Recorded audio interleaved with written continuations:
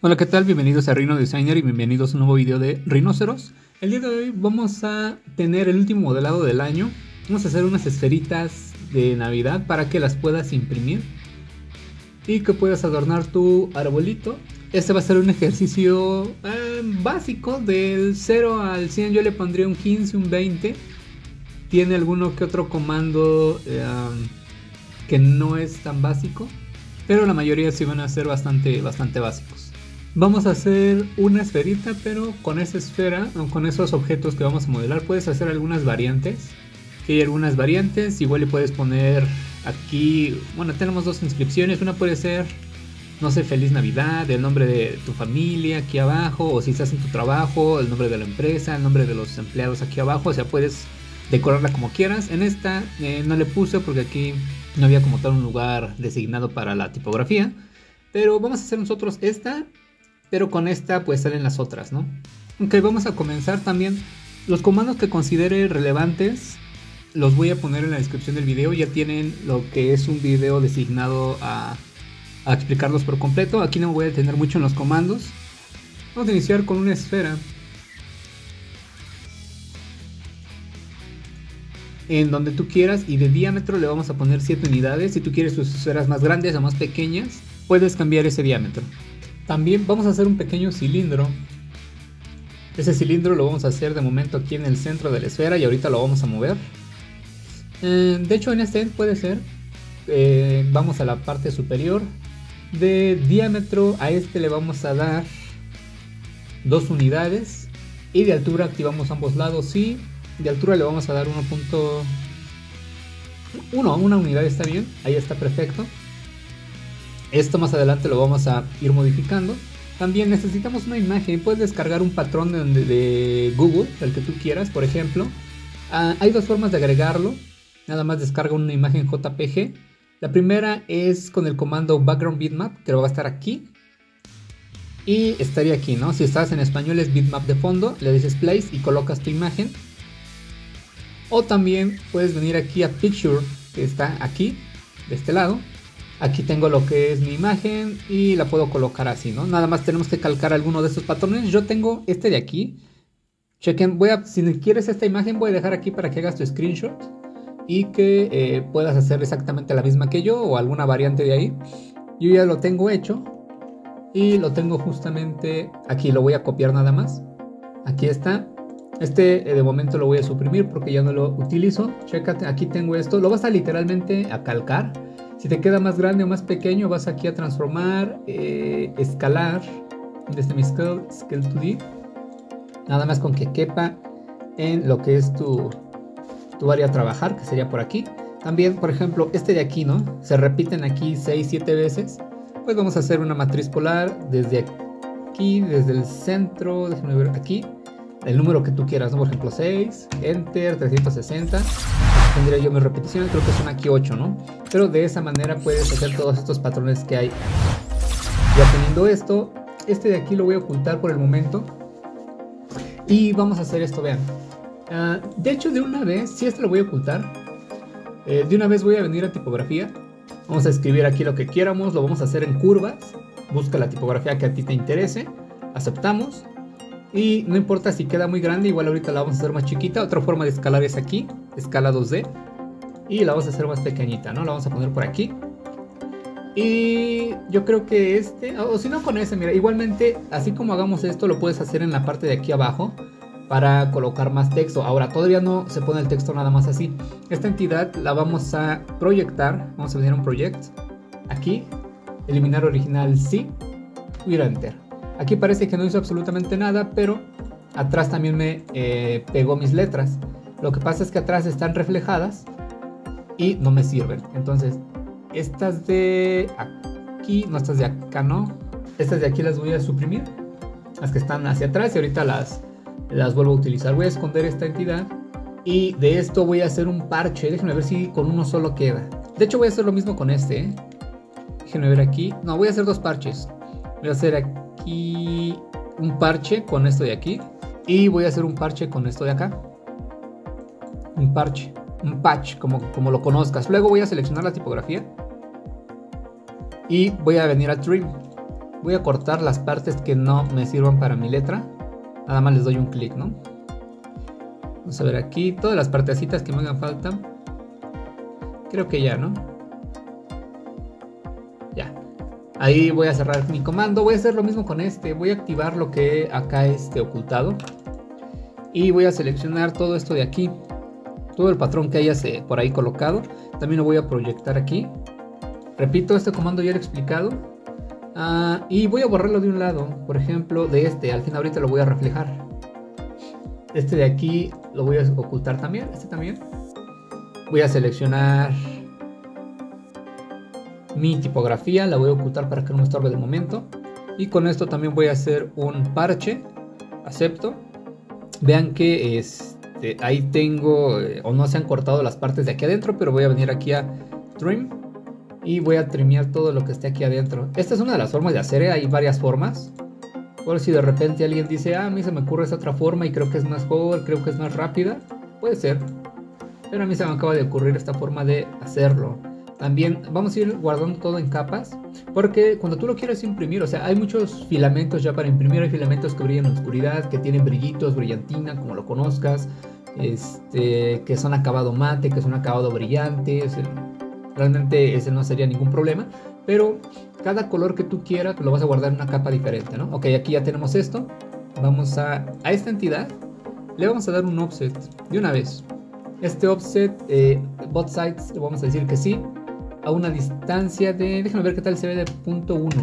Vamos a ver qué tal se ve con respecto de mi esfera, de punto 1. Bien, creo que se ve bien. Ahí está. Vamos a hacer lo mismo con esto de aquí, le voy a dar un offset. Eh, no importa si unos lados estén hacia un lado y otros hacia otro, ya lo he explicado muchas veces por qué, pero a ambos lados le digo que sí y distancia también de punto 1 me parece que está bien. ¿Ok? Ahora, esto de aquí simplemente eh, lo puedes copiar con control C, control V. Así como queda seleccionado lo voy a rotar. Voy a venir a mi rotate desde el centro, clic hacia acá y luego clic hacia acá y ya tenemos atrás también eh, el Feliz Navidad. Y también, si quieres, obviamente, tener este en la parte de atrás, este sí le podemos hacer un mirror, porque es simétrico, ¿no? El anterior no, porque no es, no es simétrico. Este lo voy a hacer de aquí, no de ahí, no. Vamos a ver, este desde un centro para asegurarme. Hacia acá, ahí está perfecto. Y ya tenemos eh, prácticamente lo más difícil Vamos a seleccionar este objeto, vamos a venir a Isolate, Invertir, Invert Selection and Height, y vamos a venir aquí a un Helix. El Helix está, uy, acabo de mover aquí. Mi Helix está aquí. Eh, de momento lo vamos a poner donde, no donde quieramos, pero ahorita van a ver a qué me refiero. Voy a activar aquí un End, lo voy a poner aquí, hacia acá abajo. El número de vueltas que quieran, eh, yo voy a poner vueltas 3 o giros 3. Ok, ahí está bien. Y lo voy a hacer un poquito más pequeño. Transformar, escalar, escalar un B. Aquí hacia la parte de abajo, por ahí está bien. Y vamos a hacer esto, vean, lo voy a copiar hacia la parte de abajo. Lo pueden copiar manualmente eh, por aquí. Y estos dos elementos, voy a apuntar, ah, sí, ya lo apunté. Eh, voy a atraerlos, voy a venir a hacer un pull. Este es este no es pull, perdón. Aquí pull con este. Eliminar original, sí. Acepto. Eso es para que se peguen, vean. Ahí. Ahora aquí voy a hacer un arc blend. Yo creo que sí me va a quedar con un arc blend. Déjenme ver. Arc blend o mezcla de arco. Por si tienes tu programa en español. Quiero unir este con este. Acepto. Y voy a hacer lo mismo aquí abajo. Quiero unir este con este y acepto. Ok, también aquí vamos a generar unas pequeñas líneas de fin a fin y también vamos a generar unas líneas de fin a fin. Esto es para mayor comodidad al momento de eh, darle volumen. Voy a hacer aquí un barrido por dos carriles. Carril, carril, curva y curva. De momento ignoro lo, eh, lo último. Y aquí nada más genero un pequeño parche de esto de aquí. Vamos a ver por qué me quedó de esta manera. Parche de esta curva y de, de esta curva y de esto de aquí. Ok, hago lo mismo acá. Seguramente ahí tomó el vector y la arista. Hago lo mismo de este lado. A esto así individual le voy a hacer un pequeño este, offset. Ambos lados sí, distancia 0.07, sólido sí, acepto. Y voy a hacer lo mismo con este de aquí. Lo que sucede es que si yo hago esto unido, hay ocasiones que no me reconoce el bot size, no me lo deja hacer. Pero de esta manera sí me lo deja a realizar sin ningún inconveniente. Ahí está perfecto. Esto lo puedo agrupar o puedo hacer una unión booleana realmente. Unión booleana. Ya que la ISO está unido y lo voy a cambiar de capa, no sé, a una de color rojo. Cambiar capa de objeto. Ah, por, ahí puedo activar lo que es escondido y lo interesante es que esta entidad no va a este no va a estar por encima de la decoración que habíamos colocado. Ahora, este de aquí puedes hacer con este realmente lo que tú quieras. Por ejemplo, voy a rotarla. Ah, aquí se vería un poco como cuadrada, válgame la expresión, pero tú la puedes rotar. Algo así. Vean. ¿Sí? La puedes rotar hacia el otro lado o puedes hacer esto, vean, en, las imágenes que les había mostrado del render que hice, hice una así y luego le había hecho un reflejo, le había hecho un mirror desde el centro hacia acá. Aquí ya depende de cómo quieras tu esferita, vean. Yo la voy a dejar con una sola y la voy a dejar, este, nada más voy a cambiar. Yo creo que este de, de capa lo voy a poner aquí en otra. No sé, esta que sea de color azul. ok, algo así. Este de aquí yo creo que creo que está un poco hacia arriba, lo voy a mover hacia la parte de abajo. Vamos a hacer una unión booleana de este elemento y este elemento se va a quedar en la capa de color azul porque fue la primera que elegí. Luego vamos a hacer una extracción. Este también lo voy a apuntar. Voy a poner aquí este extract surface. Aquí, un enter. Ya que se extrajo, la puedo suprimir para que quede hueca. Obviamente no vamos a imprimir esto este, eh, todo relleno. Y luego le vamos a dar, vamos a poner un offset. Aquí depende de cuánto quieres colocarle, ¿no? Pero voy a dar un offset hacia la parte de adentro. De distancia punto uno puede ser. Y aquí para que no quede como abierta o algo así, eh, podemos generar un pequeño, eh, una pequeña cajita. Vean, aquí le voy a hacer ninguna referencia y ahorita la coloco. Que venga de aquí hacia acá que atraviesa eh, la parte de la boquilla. Nada más que sea un poquito ancha, no queremos que sea muy ancha. La vamos a poner en donde debe de ir. Déjenme seleccionarla, la vamos a mover hacia la parte de arriba. Vamos a ponerla por aquí. Vamos para arriba, casi hasta arriba la vamos a poner. Y con esta podemos hacer una matriz polar, ¿no? Vamos a hacer aquí una matriz polar. Ahora sí activo mis referencias y quiero desde este centro, quiero unas 8 veces en 360 seis veces. Y tendríamos la parte de aquí arriba. Ya nada más necesitamos como el ganchito. Pero este ganchito es bien interesante, vean. Eh, voy a apuntar aquí otro comando que necesito dejar en la descripción. De hecho son dos. Ok, vean. Vamos a dibujar aquí cualquier parte. Eh, desde la parte del centro puede ser. Y vamos a hacer aquí nuestro ganchito, ¿no? Algo así. Pero este ganchito lo vamos a poner un poquito para adentro. Y ya que lo tenemos de esta manera, vamos a ver cuánto mide este gancho. ¿Cómo lo hacemos? De hecho, aquí hay otro comando. Este, está teniendo muchos más comandos de los que yo me imaginaba. Creo que voy a dejar en la descripción como unos 10, 12 comandos. Este, algunos de ellos seguramente ya los conoces, pero tal vez algunos otros no, o quieres saber un poco más al respecto. Eh, este, voy a venir aquí a análisis, longitud. 4.3, eh, ok, vamos a hacer lo siguiente. Voy a hacer una línea aquí de 4.3 así, ok, y voy a activar otra capa, por ejemplo la negra. Después voy a venir aquí, puede ser con, con este, con cilindro. Eh, voy a activar aquí el fin. Voy a hacer un cilindro muy muy pequeñito. Vamos a como entrelazar, este, o vamos a hacer como un lacito. Y lo voy a llevar hasta acá. Déjame ver, creo que tenía la opción de ambos lados, pero en esta ocasión no quiero que tenga ambos lados. Vamos a ver que sea muy pequeñito. Ok. Eh, si tenía ambos lados, le digo que no. Y lo llevo hacia acá. Esta entidad que tengo aquí, la voy a mover aquí. Algo así. Y la voy a copiar. Voy a copiarla unas tres veces, tal vez cuatro.